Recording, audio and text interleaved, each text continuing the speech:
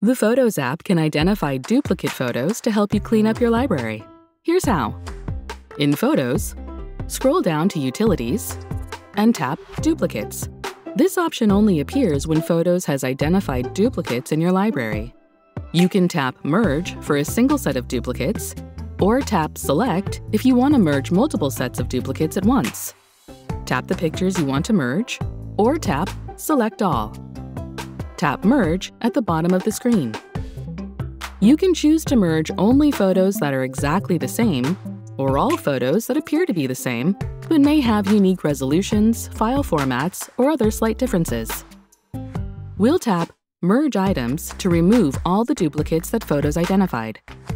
Photos will merge duplicates into one photo with the highest quality, while combining relevant data like captions, keywords, and favorites.